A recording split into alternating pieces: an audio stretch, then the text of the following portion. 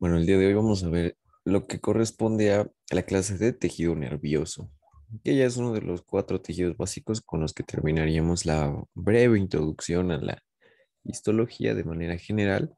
Y una vez a partir de esto ya vamos a adentrarnos en tejidos compuestos por los cuatro tejidos y por supuesto describirlos. Bien, entonces, como siempre tenemos una definición del, del tejido. El tejido nervioso es uno de los más complejos en cuanto a su funcionamiento porque forma gran cantidad de redes interconectadas y todavía de esas redes vuelven a subdividirse en otras subredes que tienen pues diferentes eh, funciones, almacenamiento, conducción, generación de impulsos, muy complejas todas y todas las puede dirigir una sola neurona. Por lo tanto, es un tejido con bastantes este, propiedades de, información, ¿sí? maneja demasiada información y por lo cual eh, en su conjunto forma una estructura más compleja que lo que anatómicamente podemos ver. Entonces, la, la definición de este es que tiene las propiedades de conducir impulsos eléctricos, tanto de recibirlos como de generarlos.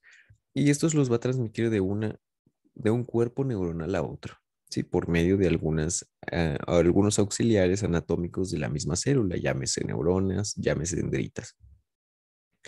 Se dice que el cuerpo humano tiene hasta un billón de neuronas y en base a ellas empezamos a, a perderlas poco a poco. A veces algunos libros mencionan que podemos perder hasta mil neuronas diariamente. Entonces, es algo exagerado para algo de nuestro tamaño, ¿verdad? Pero evidentemente estas neuronas no se pueden regenerar, cosa que es este, pues comprensible, ¿no? Porque realmente ellas no se pueden reproducir, más sin embargo, sí pueden crear nuevas redes, las cuales pueden fortalecerse o pueden irse eliminando progresivamente a medida que no las vayamos utilizando. Entonces, la principal eh, célula que compone el tejido nervioso es la neurona como tal, ella es la que va a estar formando o generando el, impulso eléctrico. Las demás células que se encuentran en el tejido nervioso son de apoyo o de sustento metabólico y físico, llamada neuroglía.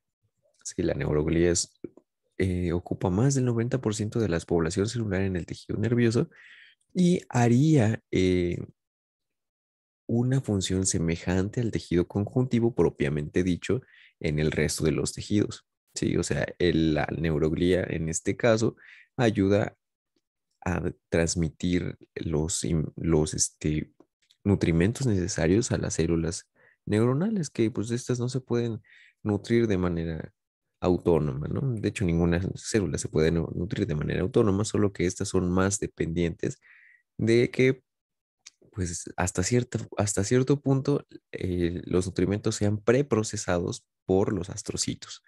¿Sale?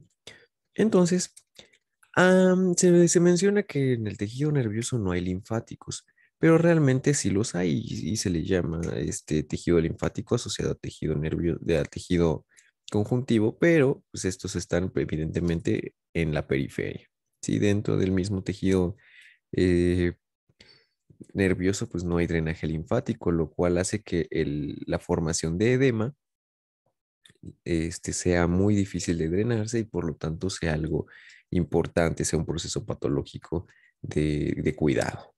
¿Sale? Muy bien. Eso en términos generales. Ahora, anatómicamente lo podemos clasificar al sistema nervioso en tres porciones o tres partes. ¿Sí? La central, que está constituido por el cerebro y la médula espinal, además del puente, la médula, todo lo que encontramos en el sistema axial.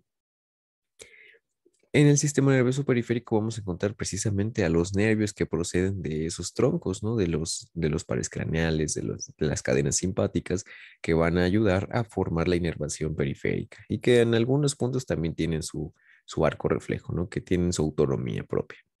Y en estos vamos a encontrar también cúmulos de células o de cuerpos neuronales que van a formar algo llamado ganglio, ¿sí? Ganglios es, una, es un conjunto de somas neuronales que van a estar presentes fuera del sistema nervioso central. Sí, típicamente vamos a tener pues, todos los somas neuronales en el cerebro, en la médula espinal. Y en el sistema nervioso periférico tendríamos las prolongaciones de esos cuerpos, y sus, solamente los axones. Pero existen algunas formaciones extracentrales, sí, o periféricas, mejor dicho, pues hasta, su nombre mismo no lo dice, que nos permite asociar pues distintas este, redes de, o cadenas de, relevos en las cuales podemos hacer pues intercambio de información, sí, las decusaciones, las vías de los leminiscos ascendentes y laterales, etcétera, etcétera. Y por último tenemos el sistema nervioso autónomo, en el cual tenemos parte de esos, de esos nervios que van hacia, hacia una regulación pues precisamente subconsciente, ¿no? De las cuales se rigen por sí, por meros, este, por menos presencia de impulsos eléctricos y de algunas este, hormonas, dependientes de hormonas, las cuales van a responder de manera inmediata para nuestra supervivencia, sí, de lucha o huida. El sistema simpático y parasimpático, cada una con reacciones en el músculo liso, en glándulas, de manera opuesta. Muy bien.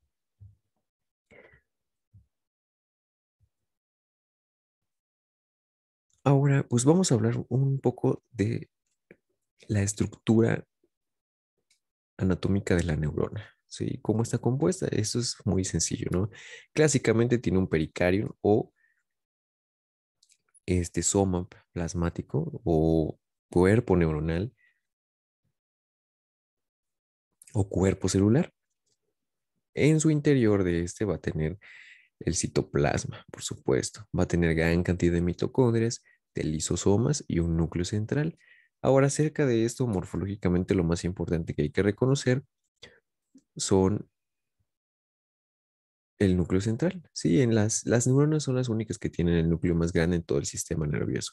Sí, tiene un núcleo esférico, redondo, con un núcleo prominente el, este, el, la cromatina de esta célula es laxa, ¿sí? Se alcanzan a ver los puntilleos y por eso es que se ve mejor el núcleo prominente. ¿Sale? Es intensamente basófilo, pero pues su cromatina es laxa. Ahora, en el citoplasma, como mencionábamos, este, tiene mucha presencia de algunos, este, de algunos organelos, ¿no? Además de mitocondrias, que son muy, este, muy abundantes, también tenemos algo que se llama sustancia de Nissl ¿sí?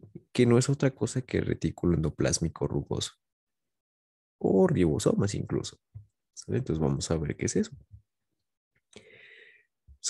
Es un material granular que se encuentra periférico al núcleo que se puede ver a simple vista con tensiones de impregnación, eh, digo de, bueno, en tensiones de absorción, ¿sí? Cualquier tensión que tenga afinidad por el tejido nervioso las puede teñir y de hecho sustancia de níquel se le denominó así porque el, alrededor del núcleo se tiñe más intensamente basófilo y pues eso correspondería al retículo endoplásmico rugoso. si Tiene un tinte básico, aspecto granular y sirve para el mantenimiento y la reparación de la célula, ¿sí? de la neurona. Ahí se están sintetizando diferentes proteínas que van a ayudar al metabolismo de la misma neurona así como también enzimas para la recapturación o la eliminación de neurotransmisores.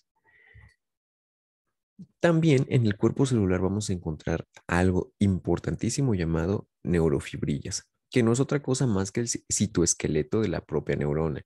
Ahora, este, además de ser muy resistente, es muy plástico, ¿sí? Además de que pues, su morfología puede variar mucho pero en esencia pues tiene microfilamentos y microtúbulos, también centriolos. Y en su citoplasma vamos a encontrar pigmentos de neuromelanina y de lipofuscina. ¿sí? No, es, no es nada raro encontrar en neuronas algo que se llama pues melanina, ¿sí? sobre todo en un núcleo del, del, centro, del cerebro que se llama pues, precisamente el núcleo negro, ¿no? Con la sustancia negra.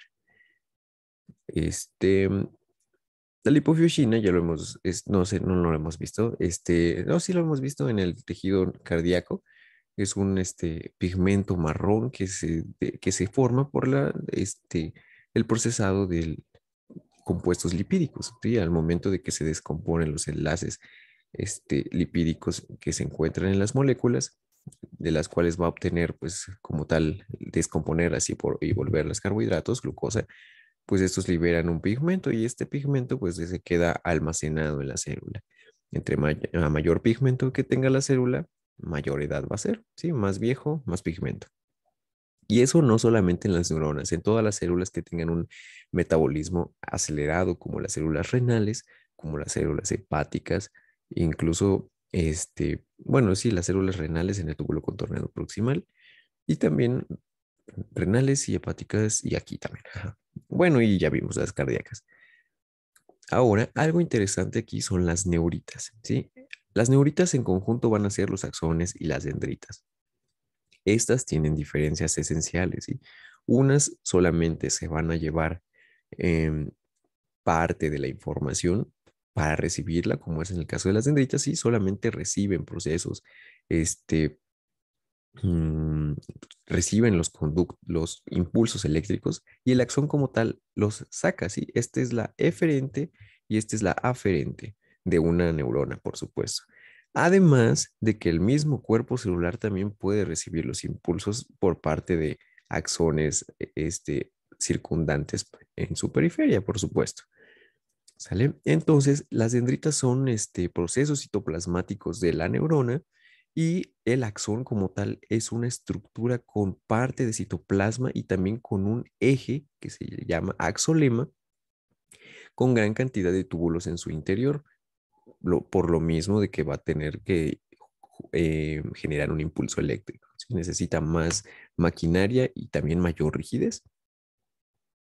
Entonces, el axón es un proceso único, largo y delgado, ¿sí? El axón solamente tenemos uno en todas, en todas las neuronas. Sí, existe una clasificación de pseudounipolares, multipolares, etcétera, etcétera, pero al final todas ellas solamente tienen un axón. Ahora, lo que sí puede ser es que no tengan axón, ¿eh? Eso sí también puede ser las anaxónicas que solamente conducen como tal impulsos eléctricos, como las que tenemos en la, en la retina y terminan lejos de la célula, al contrario de las dendritas que son múltiples, cortos, gruesos y terminan cerca de una célula nerviosa. Bien. Ahora, el axón va a ser siempre en una, va a estar dispuesto de manera perpendicular al cuerpo, sí, en ángulo recto, y se divide terminando en, pues, precisamente en botones axónicos o terminales axónicos. Las dendritas se ramifican y se ramifican y se vuelven a ramificar hasta que no, hasta que no encuentren más. Por eso es que el cerebro tiene una plasticidad, porque tiene gran capacidad de emitir dendritas para generar nuevas redes. Muy bien. El axón tiene un diámetro constante y una superficie lisa. ¿sí? Las dendritas tienen un espesor que va reduciéndose progresivamente. En el axón vamos a encontrar bueno, no vamos a encontrar retículo endoplásmico rugoso, sí, no va a haber sustancia de níquel. En las dendritas, por supuesto que sí. Y, por su, y lo más importante, fisiológicamente hablando, el axón aleja el impulso. Las dendritas viajan hacia el cuerpo celular. ¿sí? Lo reciben, unos lo sacan y otros lo reciben. Ahora, ahora pues, hablando de la conducción, las estructuras anatómicas que favorecen esta conducción, como lo hemos visto siempre en los procesos de fisiología, es una banda de tipo grasa que recubre de manera saltatoria a este axón. Y esta banda eh, es fingolípido este, que, se encuentra, que se encuentra alrededor del axón, formada por una célula de Schwann o por un oligodendrocito, en el caso del sistema nervioso central, se le llama mielina que no es otra cosa más que un rodeo de esta célula que empieza a secretar a manera de laminar la mielina en forma concéntrica alrededor del axón y de forma este, saltatoria, ¿sí? En unas, en unas secciones deja un pequeño espacio para que haya como tal comunicación con el exterior, de manera que el impulso eléctrico vaya precisamente de, en esos nódulos de Rambier en nódulos de Rambier, ¿sí? Haciendo que, por supuesto, el impulso eléctrico sea muchísimo más rápido a comparación de que si solo viajara a través de la red neuronal, donde las, las velocidades son hasta cuatro veces menores. ¿Sale? Muy bien. Entonces, estas celulitas en su formación de, las, de la vaina de mielina emiten una imaginación hacia el axón, ¿sí? lo rodean y a partir de esa imaginación que se le va a llamar mesaxón, ¿sí? así como el, el, este, el mesenterio que rodea los, los intestinos, pues aquí también el mesaxón es una, es una imaginación que emite la célula de Schwann o, el, u, el oligodendrocito hacia el, hacia el axón, rodeando en determinado número de capas a ese axón. Haciendo que esta, eh, esta envoltura tenga una tonicidad pues pálida, ¿sí? Porque es grasa. Por lo tanto, pues la sustancia blanca habrá mayor cantidad de axones.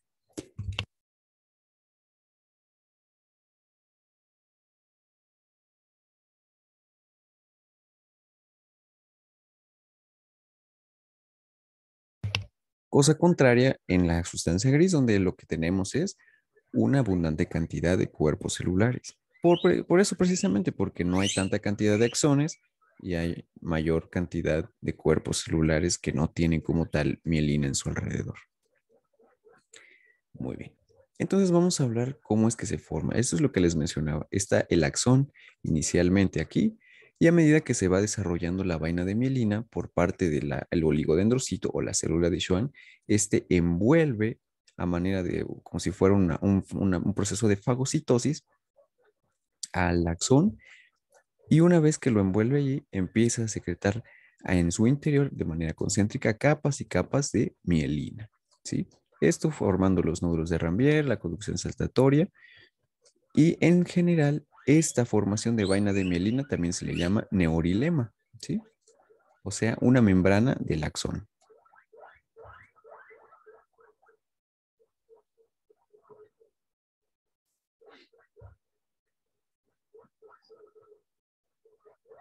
Ahora, miren, la vaina de mielina está conformada por colesterol, por fosfolípidos y glucosfingolípidos. Como ya vimos, ayuda a la, a la función de velocidad en la conducción eléctrica del axón. Por lo tanto, ayuda a que los impulsos eléctricos sean menos caros en cuestión de gasto de energía, porque recuerden que los impulsos eléctricos gastan energía, gastan ATP, y por lo tanto, pues el hecho de que la velocidad sea menor implica que haya menor cantidad de un impulso. Por lo tanto, ahorran energía las, las vainas de mielina. ¿Sale? Entonces ya vimos, ¿no? El color de la sustancia blanca y de la médula espinal es precisamente por la, por la tensión de la mielina.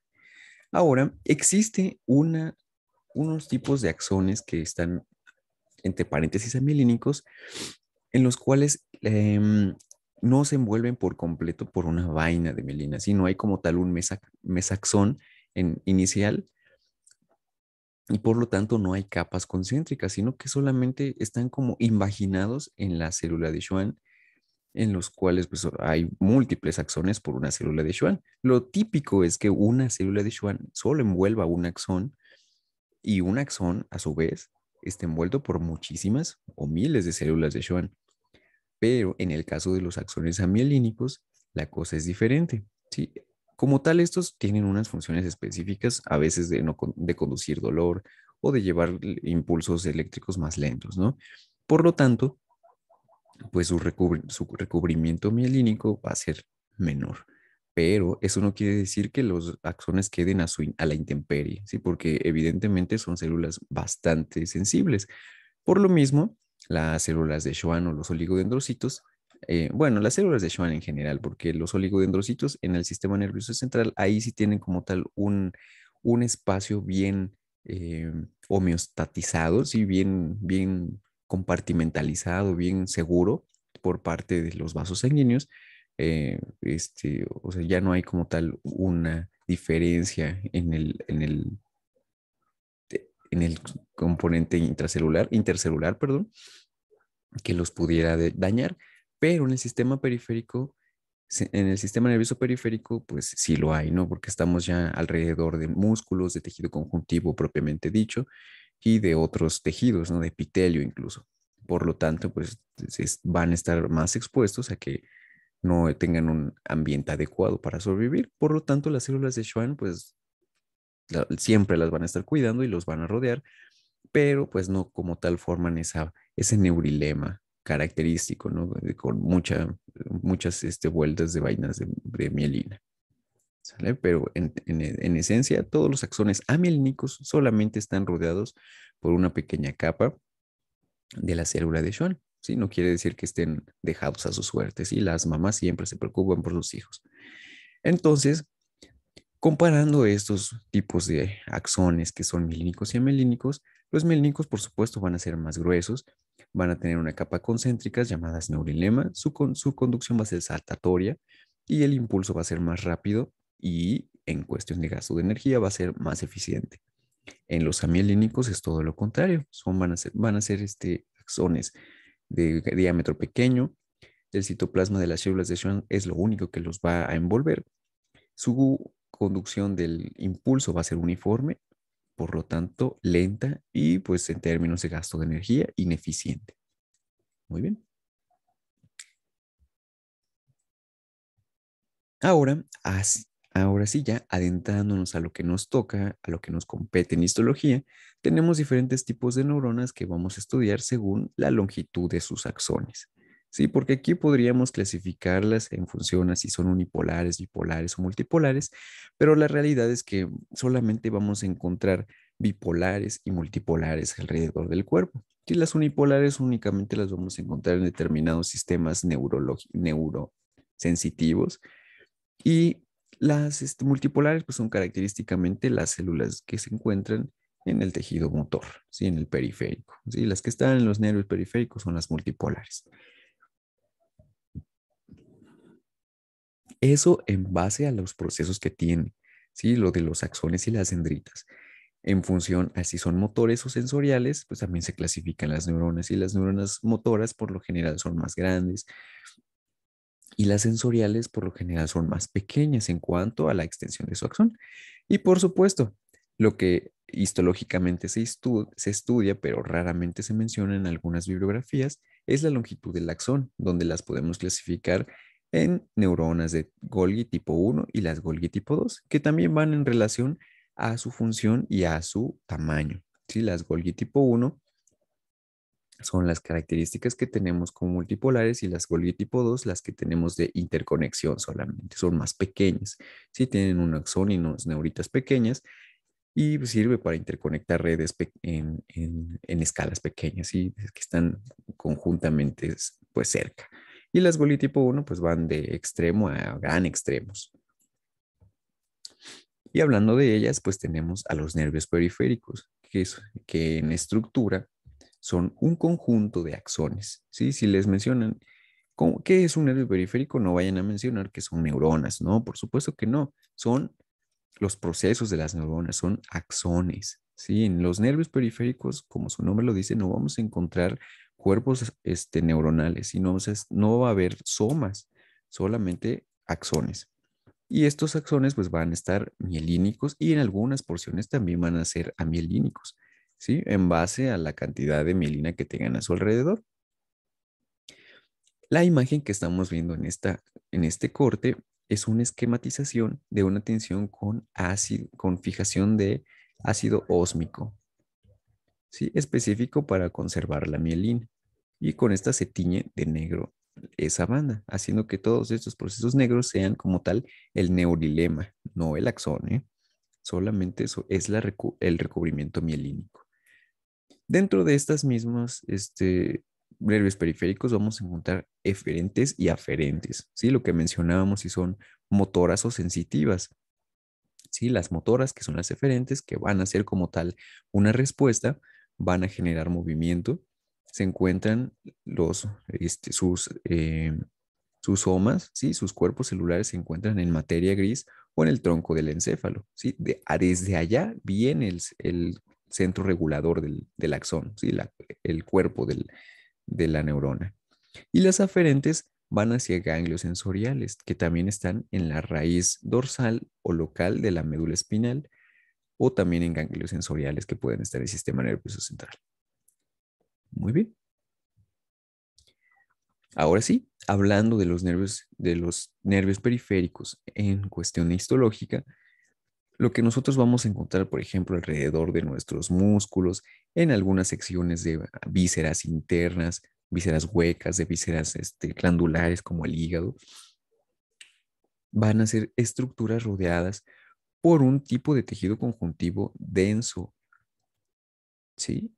regular llamado epineuro. Es muy duro. De hecho, lo pueden ver en los pollitos, las, esas secciones blancas que se le quedan pegadas en la pared, en la, en la carne, todas esas porciones blancas, duras, que parecen una liga y que no se rompen tan fácilmente, pues eso es el, el, el, nervio periférico, ¿sí? Y lo más duro de eso, pues es el tejido nervioso, el denso irregular, que es como tal la cápsula o la vaina que envuelve a todo el nervio.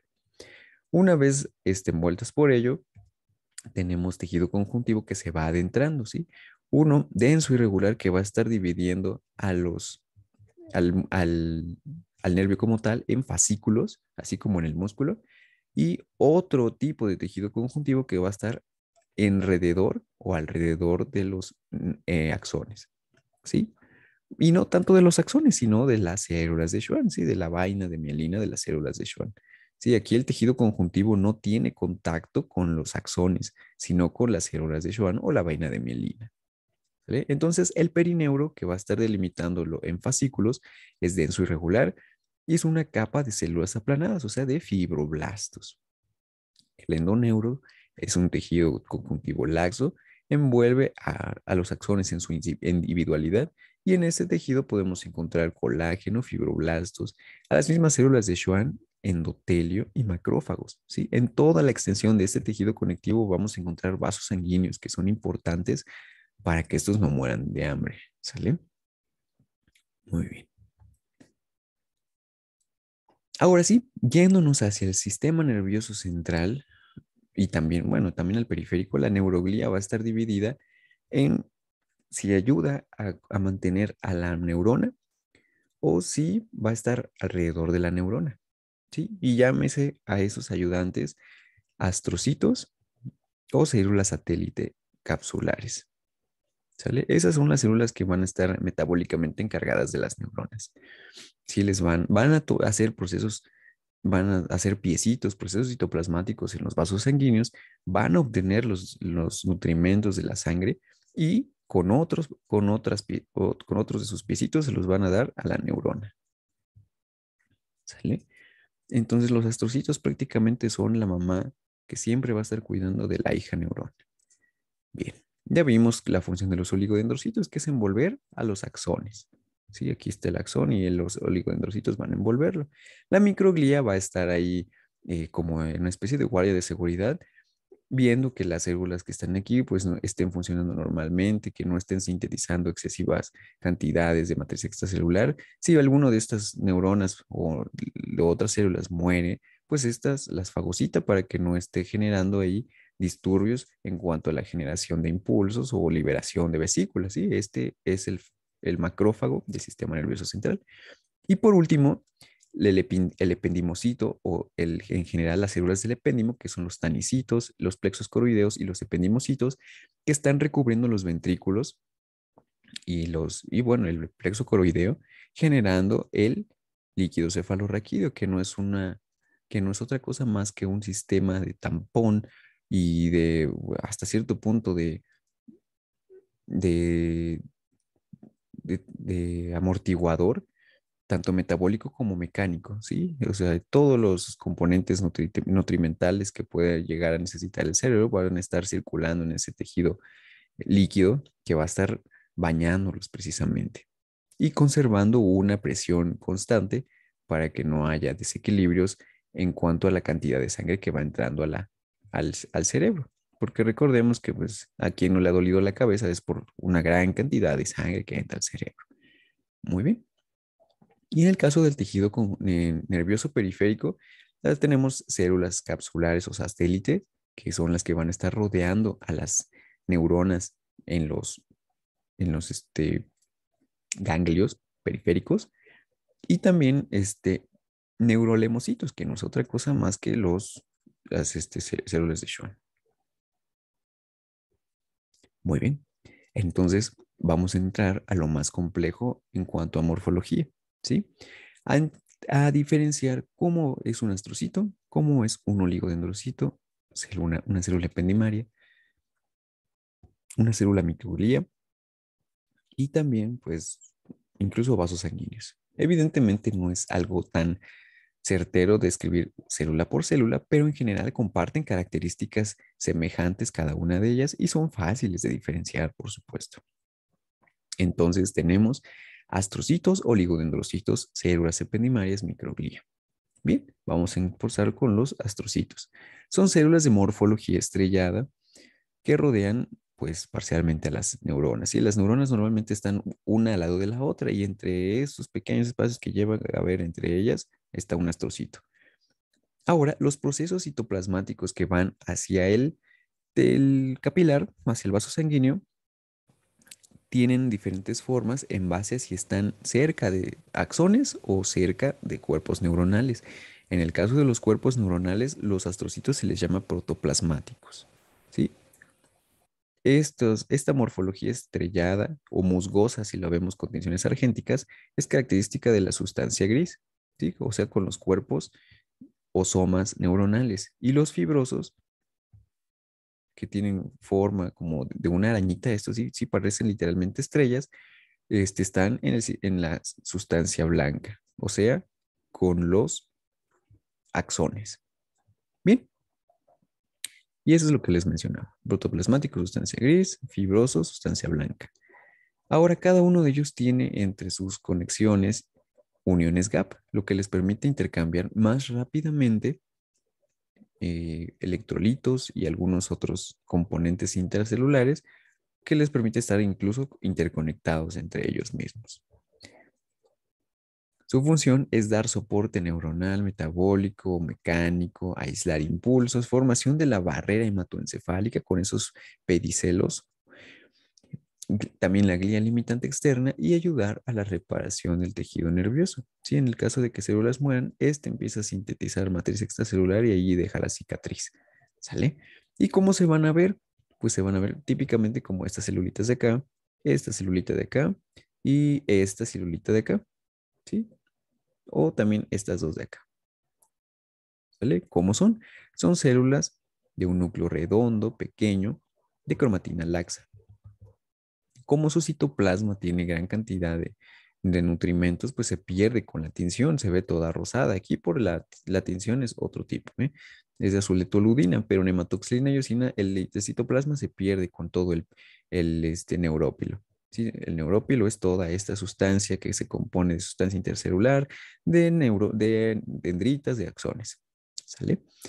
Y ya, esa es su única característica.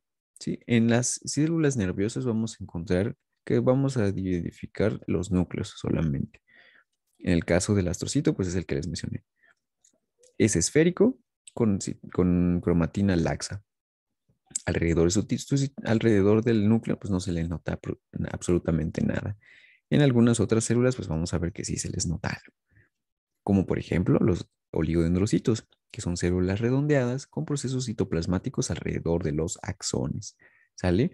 Estos, a comparación de los astrocitos, van a ser más este, pequeños, ¿sí? Igual su núcleo va a ser esférico, pero de cromatina densa y va a tener un halo, un halo perinuclear, ¿sí?